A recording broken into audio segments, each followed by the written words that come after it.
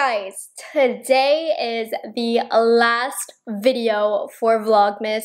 I have posted a long form video 25 days in a row and I thought what better way to end it with, than with one of my favorite videos to do, my speed reviews. I put a lot of time and pride into my speed reviews.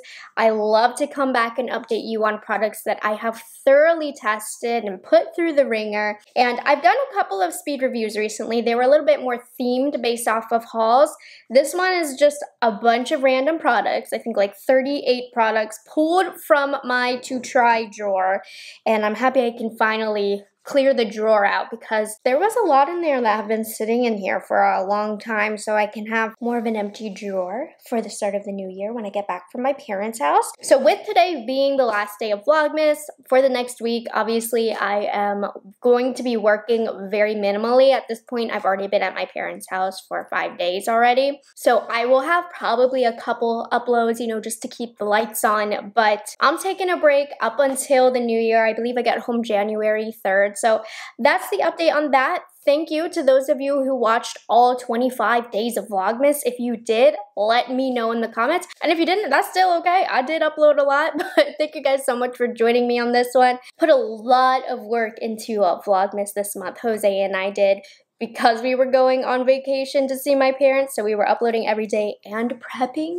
for these last few videos. So I'm excited that it's over and we can all enjoy the weird, awkward time between Christmas and New Year's. So, anyways, let's go ahead and get into these speed reviews.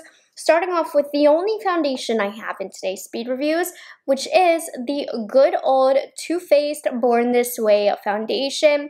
I got this in a PR package. I loved this in college, but I wanted to come back and try it again a few years later. And it is what I have on my skin today. It's a true medium coverage. I think it looks really great. I still think it's a great everyday foundation. The only thing is this one is a bit temperamental. I've actually discovered since cream products are a lot more popular than they were back when I used this in college. This does disagree with some cream products and will peel, so I need to be careful with that. But for the most part, I still have been very much enjoying this and it's been really nice to kind of come back and use it. Like I said, it's a medium coverage, but it still feels very lightweight on the skin. And I would say it has kind of like a semi-matte finish, but is nothing too drying. I can see why this was so popular years ago. I still think it's a really nice foundation. I only have one concealer as well. This one is from Merit Beauty. This is the Minimalist Perfecting Complexion Stick. I have mine in the shade Ochre. I really, really, really like this. I love the versatility in this product. When I do use it as an under eye concealer, I will say it's not my favorite under eye concealer, but it is so versatile that I'm okay with it not being the best concealer I've ever used because I love using this for spot concealing, almost as foundation on no makeup makeup days. Like I'll just put it where I need a little bit of coverage it blends out really easily, so I've been enjoying this product a lot. I think it's really great for those minimalist makeup lovers. And yeah, Merit, I think, did a great job with this product. Oh, and by the way, what I mean by like it's not my favorite under eye concealer is sometimes I do look at my under eyes and I feel like the product itself might look a little dry, but it's not bad at all. I just have some liquid concealers that I prefer for the under eyes, but I like this because it's in a stick and you can use it a whole lot of different ways. Okay, on to powders. I have a few. The first one is from IT Cosmetics. So this is the Bye Bye Pores Translucent Powder. When I like this, I really, really like it. This has good days and bad days. It depends what you put it with. If you put it with a foundation or a concealer it doesn't like, it can look kind of dry and almost oxidize the product underneath. But if you put it with products that it does like, like for example, the Too Faced foundation and the Merit concealer today, lovely, super blurring, super soft on the skin. It is extremely finely milled, so be careful because if it gets in the air, it can choke up a little bit and cough. But I overall, I think it is a nice powder, but this is not one that I would experiment with new products. I love it with products that I know I love it with, so that might turn you off, but when it's good, it's really, really good in blurring, you guys. The other powder I've been testing is the Laura Mercier Secret Brightening Powder for under eyes. I also very much enjoy this. I don't think it's like a top tier powder, but it certainly gets the job done. It is a little bit lighter than my skin, so I do use it to brighten. It's solid. I can't say anything bad about it, but it also isn't one that I'm head over heels for, but it's still great. And then the last powder that I have, which is very similar to the Laura Mercier, but it's Charlotte Tilbury. This is the Airbrush Brightening Flawless Finish Powder. So this is the Airbrush Flawless Finish Powder formula in a more translucent brightening shade. So it's not truly translucent, but it is a little bit more sheer. Anyways, I really do like this for finishing up the face. So I don't love this to set. I will set it with it, but there's other powders that I prefer to set with. And then I'll kind of put this over top to finish off the makeup to brighten. And I think it's been very, very useful for adding that dimension to the face. These brightening powders really became popular this year. I didn't really use them too often, but between the Laura Mercier and the Charlotte Tilbury, I felt like they've been a great addition to my makeup routine just for that finishing touch of depth to my face. A couple cream contour bronzery products. So the first one that I have is from Merit. This is the Bronze Balm in Clay. I really, really like this. Again, if you are into that cream makeup or minimal makeup look, I think you will like this. I really love the shade of this. It has a little bit more of a glowier finish than I prefer for my makeup to have. So I find that if I pair it with maybe a little bit more of a matte base product, this kind of stands out and it's not very flattering. But if you apply it with more of a glowy products on your face to go with this, it looks really beautiful. The quality of it's really great. It's not always the finish that I'm looking for, but when I am looking for a glowy finish, this is a beautiful product blends out really nice. I think Merit did a great job with this. And then I also have the Lower East Side Skyscraper Cream Bronzer. I got this in a BoxyCharm, and I actually quite like this one a lot. You can see the difference on my face, at least I can in front of the mirror, where the Merit's more glowy, this one's more matte. Never heard of this brand before, but I have really been enjoying this cream bronzer. I think it's a beautiful color, and it blends in with ease on the skin. Then I also have this one. Now, this one has been, I feel like, in this drawer for a long, long long time. This is the Makeup Revolution Contour and Highlight Stick in the shade Light. Actually, in one of my previous speed reviews with the Ulta haul, I picked up the shade Medium, and I still didn't love the shade of that, but I love the formula of this, but the light shade is way, way, way too light for me. The contour shade is very close to my skin tone. The highlight shade is really, really nice, but yeah, I don't know. Their contour shades are really off. Even the medium was too light for me but I love the formula so much that I did purchase it in another color, so that should say something for it. If you're very fair, you might want to look into this though. It blends really beautifully. It's just a matter of can you get your right shade? But this is a nice product for Makeup Revolution if you can find that correct shade. On the powder side, oh my gosh. Okay, so there's a couple more products from this launch. Well, I guess technically just one, but I'm only to talk about the trio. This is the Kaleidos Symphony. Symphony, the Kaleidos Symphony Contour Trio.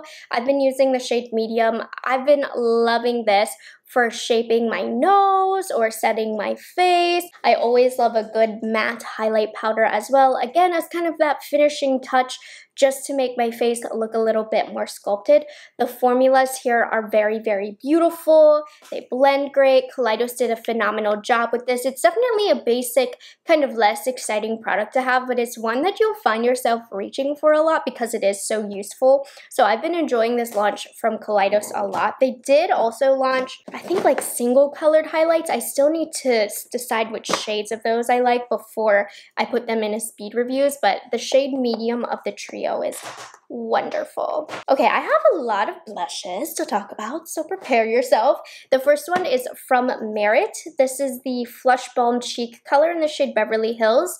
I like this, but I don't love it. So I don't love this when I have powder on my face. I find that it does move the powder around, but this is just a nice color to throw on for everyday really light all cream makeup, which I know a lot of you ladies and gentlemen are doing now. It's very, very trendy. For me, I, I like a little bit of powder. It's very rare that I'm going all cream, but if I am, I do like this. It, it feels nice just with the way that the packaging is to get it on the face.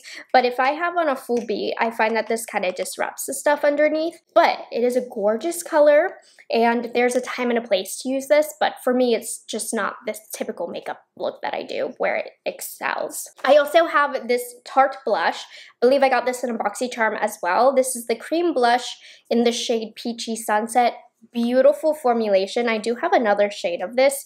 Love this formula. I mean, this compared to the Merit when I did the cheek by cheek, this one is so much better. It definitely has a little bit more coverage to the face. It's a little bit more of a matte finish, but this one is definitely more heavy duty for more heavy duty makeup. And I don't know, Tarte can be hit or miss for me, but this is a formula that I really feel like they nailed. Another really great cream blush that I tried is from Rose Inc. This is the lip and cheek color in Heliotrope. So this one is an interesting consistency. I'd almost argue it's kind of like a cream to powder, not super powdery, but it has that consistency. Another really beautiful blush formulation, not as maybe glowy as some others, but they offer some beautiful shades in their line, and if you're interested in this, it's a great formula. Then powder blushes. So the first one is from IT Cosmetics. This is the Bye Bye Pores blush in the shade Je ne sais quoi. This shade is gorgeous for every day, and I really do like their powder blush formulation. It's quite lightweight on the cheeks. It's not super pigment packed, which I think gives that pore blurring effect. So this is a really solid blush formula. I've never heard anybody talk about it, but I love the color and I think the formula is really solid. Now this one, unfortunately, I don't love.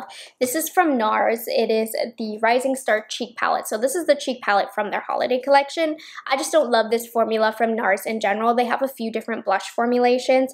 This Big Gelée formula that's in this kit I don't really love. I mean, blush is blush. I can get it to work. It doesn't look horrible on my cheeks, but I feel like a lot of other great blushes have just launched this time of year that I'm much more inclined to reach. So this has not been an all-time favorite of mine. It's fine. I can get, you know, it, it does the blushing on the cheek. It's not hard to work out or anything. I think the tools that you use need to be a little bit more specific, like a synthetic brush is going to pick up the color better than a natural hair brush it's fine, but it's definitely not getting much attention because I love so many other formulas a lot more. What I do love, this is one of the ones that has been beating out the NARS, is the Charlotte Tilbury Pillow Talk Beautifying Face Palettes. I've talked about these a lot, so I'm not going to talk about them too much, but I have been using the shade Fair Medium more, but the medium to deep I've also been loving. These are a beautiful formulation for a glowy cheek. You don't need to think about what colors you want to use. I've been reaching for these often. It's such an incentive to have beautiful packaging as well. So these are a really great blush palette. And I guess, you know, the formulas in here aren't mind-blowing, but the overall look is so stunning that I know when I reach for it, my cheeks are gonna look blushed and glowy and beautiful. And I feel very similarly about with my love for the Pat McGrath Labs Divine Blush and Glow Cheek Palettes. So I have two of these as well. I've definitely been reaching for the shade Divine Rose a little bit more, but both are really great. It's just Divine Rose has a couple shades, like these two right here are some of my all-time favorites. So these I said the Charlotte Tilbury right wasn't a mind-blowing formula. Pat McGrath in here, this one does have a mind-blowing formula. So they have four of their blushes that are in her original like line. So I love those. They're very high quality. They're not as shimmery as the Charlotte Tilbury. So it's a different look, a different vibe. And then they also have a really beautiful smoothing highlight formula. These ones are really great as well. It's like, I don't know which one I prefer because I like the Charlotte Tilbury for a truly glowing goddess kind of cheek. But when it comes down to it, I do prefer the formulas of the Pat McGrath, but they give a different look, you know, and they're both great and I recommend both. and then I also have the, this one has been a while in this drawer, Natasha Denona My Dream Cheek Trio Blush and Highlighter Palette. So you have kind of a cream to powder blush, a cream highlight, and then a powder highlight, really beautiful cheek that's curated for you. It's less exciting to me than the Pat McGrath or the Charlotte Tilbury palettes, but this one still does give like a really pretty, fresh, glowy kind of look to it. And Natasha is known for layering the formulations kind of situation. She did a great job with this. And then I do have a highlighting balm, and I don't normally like products like these. This is from Merit in the shade Citrine. Not my style of product. I don't love it, but it does perform well, I would say. It applies best by putting your finger directly on the product and then pushing out in, into the skin. And I think it looks really pretty. But for me, you guys, I've always just preferred the look and application of a powder highlight. And I'm not reaching for this over a powder highlight. If you like a balmy kind of cream highlight, I think I think you will like this one but it's not something that I'm going to be reaching for all of the time. And the last complexion product that I have is from Catrice. This is the fixing spray. It's supposed to be waterproof, transfer proof, all of that good stuff. I don't know. I'm always more inclined to reach for my Charlotte Tilbury. That one I know makes my makeup last longer. I don't know about this one. I haven't noticed anything too special. I would say generally speaking though, Catrice has really great setting sprays. They have a couple that I really love. I don't know if you extend my makeup wear or not. So this one hasn't stood out to me. And the spray is, it makes my face really wet and that I also don't love, so I haven't been as inclined to reach for it. Moving on to the eyes, the first product that I have is for the eyebrows. This is the Shu Urim, Shu, the Shu Uemura Brow Sword Naginata. I actually did a sponsorship with them on this product, and that's because it is stinking incredible. It gives off the perfect amount of color. It's not too creamy. And because of the tone of this and the application, it makes my brows look better. It's a very interesting shape, as you can see. But surprisingly, very effective. I very much enjoy doing my brows with this and I think it makes my brows look really nice, gives very natural hair-like strokes. So this is a bomb pencil. Another pencil that I tried, I guess it's more so of a pen slash marker. This is from Benefit. This is the Brow Microfilling Pen. Originally, I thought I wasn't gonna like this. I was like, this is totally a gimmick. But honestly, I like it more than I thought I would. I got the shade light brown, so I think it's a little bit more natural in the brows. It does a really nice job. It doesn't spew out too much product. It doesn't look too intense in the eyebrows The proof is in the pudding as you can see with the demo. So I've been pleasantly surprised by this. Am I reaching for this over other brow products? No, but I was still pleasantly surprised by it. I got a couple of brow products from Lawless sent over to me, so I've been playing with them. The brow pencil is called the Shape Up Soft Fill Brow Pencil. It's okay. It's a bit thick for me. I prefer the IT Cosmetics Brow Power. I think they kind of have a similar shape, but the it Cosmetics does it better. This one is just okay. I've been using it because it's been in my to use drawer, but I'm not head over heels for it. And likewise with the Hold Up Stop Set Creamy Brow Wax, again, it's fine, but I have so many other brow gels that I would prefer to use over these.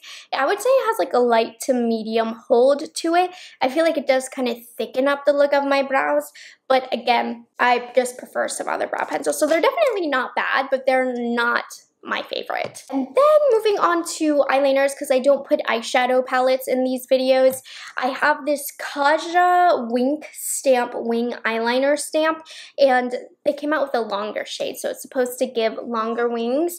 I'm not a professional at using this. I can see how people would enjoy this for a guide but my troubles with these is I get them uneven. I've been getting better at using them and it actually encourages me to create a different wing shape than I normally do if I'm just like freehanding it. So I actually like the shape of the wing it gives me, but it is it's a little troublesome to get my wings even with these. It also does come with like a normal eyeliner pen. This one is really, really nice. It's quite precise and it's super duper black. So overall, I do like this, but I am kind of holding my breath a little bit when I'm getting the wing stamp on. Then I also have this eyeliner from Crunchi, which is an organic beauty brand.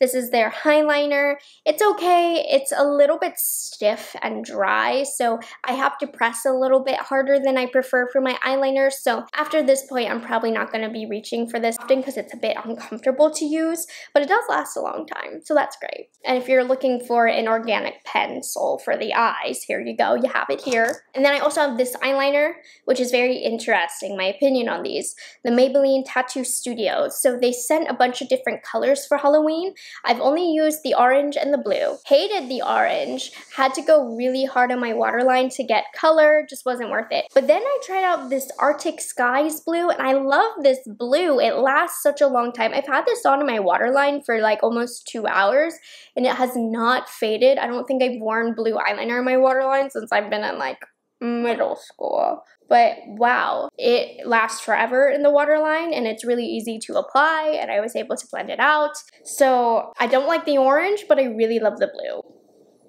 Maybe the brighter colors are better. I have one mascara from IT Cosmetics. This is the Lash Blowout. I really, really like this mascara. I'm not working with much lash-wise, and I recently took a break from using lash enhancing serum, which I know my lashes are gonna shrink back. It's a long story why I stopped. But anyways, this right here is how they make my lashes look, which is really, really good uh, because I think my lashes have shrunk a little bit. But I really like this, and I don't like a lot of mascaras. And I think the packaging is so cute. It's like a little dry bar brush. So yeah, I think this one made my lashes look good. That's kind of all I can say about it.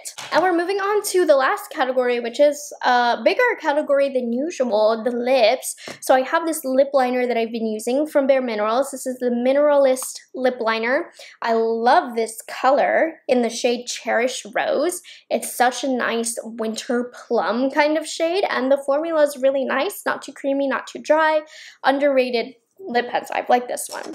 I've also been using this lip set from an older collection. This is the ColourPop Lippy Pencil in Formosa Cafe, and then the lipstick in the shade It Girl. It's my lip color that I'm wearing today. I've been using it a lot. Love their lip liners, love their lipsticks. I feel like their lipsticks can fade a little bit fast, but I don't mind because it's so cheap and it does feel quite high quality. I love the pre-made lip sets that they make, like the lippy kits, because then I got a perfect match right here. I've also been using this lipstick from ColourPop a lot, the shade The Lounge, again from an older collection.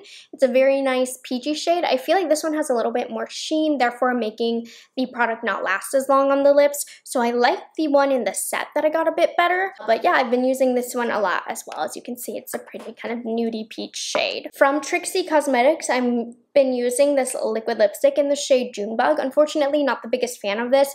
It's a bit too watery and thin, and it looks watery and thin. It, it's okay if I have a lot of lip liner layered underneath and all of that, and mixing it into another color, but using this on its own or with just a simple lip line, it looks really drying and thin and uneven, so not my favorite. From Rare Beauty, I featured this in my favorites, so you know it's good. This is a Rare Beauty Dewy Lip Balm in the shade Thankful. This is the perfect everyday fall and I would say winter color. So it's a dewy lip balm with color to it. So it does have a glow to it. This looks phenomenal underneath or on top of a brown lip liner. I didn't have a brown lip liner in today's look, so it looked more pink. But if you put this with a brown lip liner, it's hydrating. It's still great for every day, but it gives that depth that's perfect for the winter and the fall. And it has that pretty kind of like lip glossy glow and it's an all-in-one product so super duper nice. This is an older product but I tested this again years later from Too Faced. This is the Lip Injection Extreme. I don't feel like it's too painful. Sometimes I'll use this before makeup to give my lips a little extra plump though I don't think it does like that much but I mean come on. This is not magic in a bottle. Nothing can really plump these lips up but it's been making me feel a little better about myself so I don't think it's extremely plumping by any means, but I like the tingle that it gives. I love the tingle of a lip plumper, so it does a little something, but not that much. And then I did a sponsorship last month or early into this month with the brand Hera, which is a Korean makeup brand. And oh my gosh, their lip products so good. They have this lipstick formulation that is so incredible. It's really lightweight and blurring on the lips, very popular to like the K-beauty trends. Feels like nothing is on the lips, so I love this formula. And then they also have kind of like a matte lipstick trend, or it's called the Sensual Powder Matte. It is a powder matte liquid lipstick, but it's not drying and it's really thin and gives a blurred look and you can apply just a little bit for that blurred Korean beauty trend or you can build it up. So it has a lot of versatility. Again, super comfortable. And then they also have a lip gloss formulation, which I think is my favorite from the brand, the Spicy Nude Gloss. This fills in the line of the lips. I have more colors in this, but I just pulled a few to show you. Um, and I just wanted to update you that I still am really, really loving those lip formulas. Really incredible. I like Korean beauty. That's amazing. And then lastly, finally, I can update you on the My Dream lip set from Natasha Denona, which includes a lip liner, a lipstick, and a lip gloss. So the lip liner is great in the shade Natasha. I already had this, and yeah, it's nice, lasts a long time, really creamy.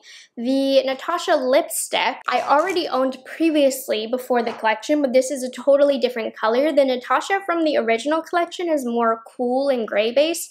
This one is more mauve. They are not the same. I thought I could throw away my old Natasha and get a fresh one, but they're complete different lipsticks. So keep that in mind, but it's a beautiful color. And then lastly, the lip gloss. I'm not in love with this lip gloss formula, just in general, but it goes perfectly with the combo. I don't think the lip gloss formula is bad, but it's not my favorite lip gloss formulation. But overall, it creates a really pretty cool mauve lip that I think, you know, if you like cool toned eyes, you like purpley eyes, you will really like that set. And I do like overall put together the Natasha Denona lip formulas. So still really good. The only thing I would probably pass on is the lip gloss, but the other two items are very nice. And there we have it, you guys. Those are 38 speed reviews of a bunch of different makeup products that I wanted to update you guys on. Again, huge thank you to those of you who have stuck through Vlogmas. I hope you had as much fun as I did, but I am ready for a break. but anyways, I hope you guys enjoyed this video, found it helpful, and I will see you guys in the next one. Bye guys, have a good one.